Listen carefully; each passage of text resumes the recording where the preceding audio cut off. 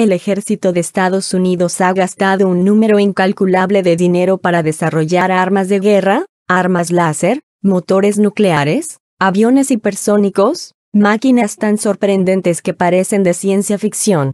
Así que cuando se trata de acontecimientos aparentemente imposibles que tuvieron lugar en bases militares, podríamos estar seguros de que no es cierto. Una historia en particular ha despertado nuestra imaginación, una historia de más de 70 años se niega a caer en el olvido. Podría ser el mayor secreto militar de todos los tiempos, la teleportación de un destructor en su totalidad. La historia del experimento Filadelfia. La historia comenzó en 1955 en Michigan, por un hombre que se negó a hundirse en un mundo de intrigas y verdades a medias. Morris K.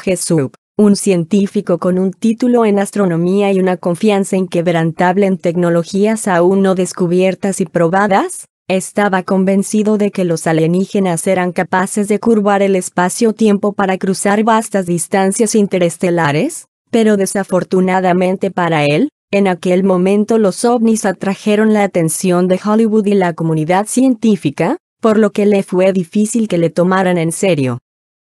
¿Qué sucedió realmente durante el experimento Filadelfia? Morris K. pero había alguien que escuchaba. El 13 de enero de 1956, Jesús recibió un mensaje que cambiaría su vida. Comienza una de las más duraderas leyendas científicas de todos los tiempos. En esa carta dice que 12 años atrás, en plena Guerra Mundial, la Armada llevó a cabo experimentos en un destructor altamente sofisticado, el Useldridge, haciendo que literalmente se disuelva en el aire. Parece que durante una de las pruebas, la nave se rematerializó a 320 kilómetros, antes de desaparecer otra vez y volver a aparecer en Filadelfia. En la carta dice que la tecnología que ha permitido hacer la nave invisible, es atribuida a Albert Einstein. El genio secretamente podría haber desarrollado una teoría unificada para atar todas las leyes de la física. Seguramente era algo que estaban tratando de conseguir durante tantos años, dice James S. Ottaviani, ingeniero nuclear e historiador de la ciencia, fue el objetivo de Einstein una teoría del campo unificado combinando las ecuaciones que rigen la interacción de la materia, entre este y la luz y ambos con la gravedad. Si conseguimos este refinado sistema de ecuaciones que explica cómo funciona el universo, tal vez podemos hacer algo con estos datos, deformar el flujo de la luz, alterando la relación entre espacio y tiempo, la teleportación o hacer las cosas invisibles. Einstein confirmó que trabajaba en esta teoría, sin embargo, nunca lo había probado. Pero el autor de la carta a Gesap afirma que lo hizo en secreto y en el corazón de la Segunda Guerra Mundial, la Armada ha utilizado sus ideas sobre la deformación del flujo de luz para desaparecer el destructor. Vemos un objeto porque la luz lo ilumina, dice David Mayuyo, un físico en la Universidad de Rutgers. Aplicando la teoría del campo unificado podría desviar la luz, por lo que no toca el objeto más sino que le rodea. Jesús para esta ciencia no es un extraño, ya que lo había escrito en su libro. Pero la carta también habla de los problemas de esa tecnología. Los potentes campos electromagnéticos que solían deformar el espacio-tiempo asesinaban a los marineros, mientras que otros quedaron locos. ¿Puede haber algo de verdad en tales declaraciones científicas? El cerebro trabaja básicamente con electricidad, explica el Dr. Sean Montgomery, neurocientífico, los impulsos eléctricos establecen una comunicación entre las neuronas del cerebro y, por lo tanto, los campos electromagnéticos realmente pueden afectar su operación. Por ejemplo, existe el llamado casco de Dios, a través de la cuales las ondas electromagnéticas puede producir alucinaciones. Según el autor de la carta, los sobrevivientes fueron obligados a firmar cláusulas de confidencialidad. De aquellos que no firmaron fueron imposibles de rastrear. El autor afirma ser un testigo, un marinero de un barco que podría generar la ira de la Marina de Guerra al revelar el secreto nacional y que se identificaba como Carlos Miguel Allende. Jesús no está seguro, o es el más grande y más escandaloso encubrimiento de todos los tiempos, o todo esto son los desvaríos de un loco. En la Armada no existe ningún Carlos Miguel Allende. Ninguna parte de su extraño relato coincide con los documentos oficiales de la Useldridge. No hay evidencia de que el experimento Filadelfia realmente ocurrió, ni evidencia que la nave estuviera en Filadelfia, dijo Jason Stromin, fundador de la Sociedad Paranormal de Nueva York. Según los diarios era en las Bahamas, pero si usted desea cubrir un experimento polémico así tal vez esté anotado en los libros de registro. Pero hay algo curioso que valida el contenido de la carta, en 1943, justo en el momento de la presunta desaparición de la Useldridge, la Marina de los Estados Unidos estaba trabajando con Albert Einstein en un proyecto centrado en la teoría del campo unificado, justo lo que Allende habla en su carta. Durante meses, Jesús escarbó a través de archivos militares, siguiendo cada rastro e investigó todos los contactos, pero sin resultados, o es lo que él pensaba. ¿Qué sucedió realmente durante el experimento Filadelfia? Albert Einstein consultado por oficiales navales en su estudio en Princeton, Nueva Jersey, julio 24,1943. En la primavera de 1957, Jesús fue contactado por la Oficina de Investigación Naval, Office of Naval Research, ONR. A Jesús no se le preguntó cómo recibió esa carta, ni cómo descubrió la historia del experimento en Filadelfia, pero se encontraba como un sospechoso. La acusación se basa en un libro escrito por Jesús, T.K.C. Forte UFO, un examen del fenómeno objeto volador no identificado en el que teorizaba los medios de propulsión que un platillo volador del estilo de un objeto volador no identificado podría utilizar. ¿Qué sucedió realmente durante el experimento Filadelfia? TKC Forte UFO de Jesús. A Jesús se le muestra una copia de su libro lleno de anotaciones en los márgenes y los militar quieren saber quién lo escribió. Al parecer, Jesús reconoció la caligrafía de Carlos Miguel Allende. La Armada lo tomó muy en serio, tratando de encontrar a Allende, dice Stromin. Ellos no pudieron encontrarlo y pensaban que podría saber algo que ellos no sabían. Allende fue consciente de hechos desconocidos para la Marina de Guerra estadounidense, ¿o había algún secreto que no debía ser revelado? Recientemente, un investigador llamado Jack Bolete, sugirió una explicación posible, una tecnología secreta llamada la desmagnetización. Durante la Dos Guerra Mundial, la Armada de Estados Unidos dijo que haría naves invisibles, pero no en una forma comprensible para todos. Las naves están hechas de acero, con las características magnéticas, dice Mayo. Durante la Segunda Guerra Mundial hubo una nueva arma secreta, las minas magnéticas, que eran atraídas por el acero, y que hacía explotar la nave.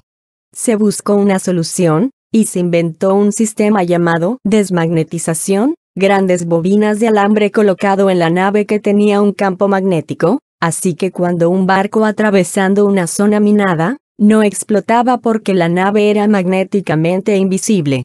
Pero Jesús no sabía nada de desmagnetización y continuaba hallando un camino a través del cual los ovnis y la marina de guerra superaron las barreras del tiempo y del espacio.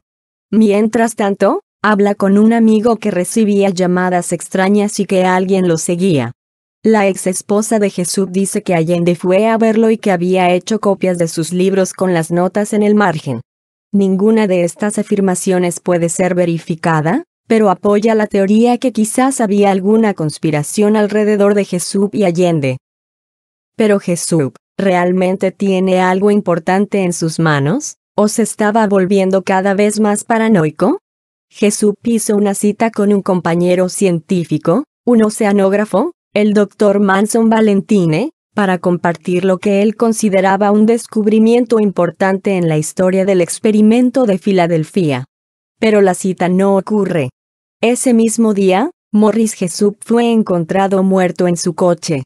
Todo apunta a un suicidio. Muchos creen poco probable el suicidio de Jesús cometido antes de una reunión importante. Al parecer un médico con el nombre de Red lo declaró muerto, pero nadie ha sido capaz de localizarlo, ni nunca se realizó una autopsia en el cuerpo de Jesús, concluye Stromin. ¿Jesús había descubierto algo que lo condujo a terminar su propia vida? ¿Y el escurridizo Carlos Allende? Después de la muerte de Jesús, los investigadores afirmaron haber descubierto la verdadera identidad de Allende. Fue Carl Allen, oriundo de Pensilvania, que había sufrido de problemas mentales y delirios, pero durante la Segunda Guerra Mundial estaba en la Marina de Guerra, como fue escrito en las cartas. El experimento se decidió que la teoría científica sea probada en un experimento práctico. El tiempo, octubre de 1943, el lugar, el depósito naval de Filadelfia, el vehículo elegido, clase artillería, destructor escolta USS Eldridge, designado de 173. ¿Qué sucedió realmente durante el experimento Filadelfia? El US Eldridge lanzado apenas cuatro meses antes del 25 de julio de 1943 el Eldridge ya había visto acción en los teatros del Mediterráneo y el Pacífico. El Eldridge fue equipado con dos generadores masivos, capaces de generar hasta 75 kilovoltios amperios cada uno, así como una serie de transmisores de RF, amplificadores de potencia y bobinas magnéticas para distribuir el campo electromagnético alrededor de la nave. Llegó el momento de iniciar el experimento. A bordo del barco SS Andrew Furuset, los miembros de la tripulación Carlos Miguel Allende observaron el experimento. Nadie podía prever lo que vieron ese día. ¿Qué sucedió realmente durante el experimento Filadelfia? A la izquierda, el SS Andrew Furuset, que Carlos Allende, utilizando el nombre de Carl Allen, se unió en agosto de 1943. En la fotografía los oficiales del buque y la tripulación, arriba, el hombre que estaba justo a la izquierda del ventilador de la derecha es considerado por algunos investigadores como Allende, quien sirvió en el buque hasta enero de 1944. Los gigantes generadores zumbaron en vivo mientras el campo electromagnético alrededor de la nave se intensificó. Los observadores, incluyendo el marinero Allende, comenzaron a presenciar fenómenos extraños. Una niebla verde se desarrolló alrededor de la línea del agua y ascendió hacia arriba, eventualmente envolvió a la nave entera. Poco después de envolver al Eldridge, la niebla comenzó a disiparse. Lo que fue revelado aturdió a todos los presentes. El Eldridge desapareció. Donde estaba anclada el Eldridge ahora estaba una aparente agua calmada. Pero ¿dónde estaba el Eldridge? No podría hundirse en un corto periodo de tiempo. Solo uno puede sacar una conclusión, el Eldridge había quedado invisible, no solo para el radar como era de esperar, sino también para la visión humana. La orden fue enviada al Eldridge, ahora invisible, para apagar los grandes generadores. En una aparente inversión del efecto, la niebla verde regresó y lentamente cedió. Ante el asombro de los espectadores el Eldridge había regresado. Sin embargo no todo era de maravillas a bordo del Eldridge. Los miembros de la tripulación informaron mareos y náuseas, algunos no los soportaban, Inmediatamente se decidió que este equipo en particular no se usarían para cualquier otro experimento. Un segundo experimento con un nuevo equipo se llevó a cabo, con el objetivo de simplemente desviar el radar. No mucho se sabe sobre este segundo experimento y los testigos son difíciles de encontrar. El experimento Almohadilla 3 sin embargo es el tercer experimento, produjo los más extraordinarios resultados. La configuración de los generadores electromagnéticos había sido alterados para intentar lograr la invisibilidad al radar, pero evitar el efecto de invisibilidad que aparentemente se había logrado con el primer equipo. Los generadores fueron accionados por una tercera vez, la niebla verde ahora familiar comenzó a engullir el Eldridge. Pero de repente, algo falló espectacularmente. Un enorme flash azul emanó del Eldridge y cuando los observadores recuperaron su vista llegó a ser obvio, el Eldridge ya no estaba allí. Se supuso que el efecto de invisibilidad de la primera experiencia había vuelto, pero que se pondría en cuestión por un avistamiento extraordinario en Norfolk, Virginia. Observadores en Norfolk informaron haber visto al Eldridge a simple vista durante varios minutos, solo para que en un parpadeo apareciera fuera de la existencia solo en un instante. En el mismo instante, el Eldridge reapareció en el depósito naval de Filadelfia. Al parecer, a salvo en casa, el Eldridge recibió un grupo de abordaje. Lo que encontrarían desafiarían todo el conocimiento convencional. Algunos de la tripulación exhibieron las mismas náuseas como el primer equipo, pero aún más la investigación reveló que varios miembros de la tripulación habían simplemente desaparecido. El fenómeno más impactante fue el descubrimiento de cinco miembros de la tripulación que fueron parcialmente fusionados en los sólidos tabiques herméticos y en otras partes metálicas de la estructura del buque. En 1946, después de su participación en los experimentos el Eldridge fue puesto de comisión en reserva, solo para ser transferido bajo el programa de asistencia de defensa mutua a Grecia en 1951. El Eldridge sirvió en la Marina griega bajo el nombre de León HS hasta que fue desmantelamiento en 1992. La nave fue finalmente destruida para chatarra en 1999. Los científicos sin darse cuenta habían tropezado con una técnica para producir efectos de teleportación. ¿Fue la aparición del Eldridge en Norfolk un espejismo? que podría haber causado que los miembros de la tripulación sean unidos a la estructura de la nave? Este entero escenario está lleno de preguntas que tal vez algún día se sepa. O tal vez ya son conocidos por unos pocos. Varias décadas después, muchos seguirán buscando respuestas a lo que ocurrió en 1944. Aunque una cosa es segura, el Eldridge se llevó su secreto a la tumba.